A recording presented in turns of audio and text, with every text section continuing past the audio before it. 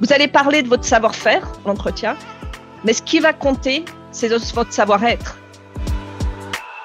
Toujours pour en revenir à la diversité, on a besoin de femmes, mesdames, venez, puisque ce serait impensable que le monde numérique de demain soit façonné uniquement par des hommes, ce serait complètement stupide. Trouver la bonne personne au bon moment et le bon écosystème, également les bonnes entreprises. D'où elle vient, euh, pour moi, l'intelligence d'une société, que ce soit une communauté, elle est liée au poids des femmes. Euh, on a euh, que des femmes en formation et, et le but, c'est vraiment la mixité du secteur du digital.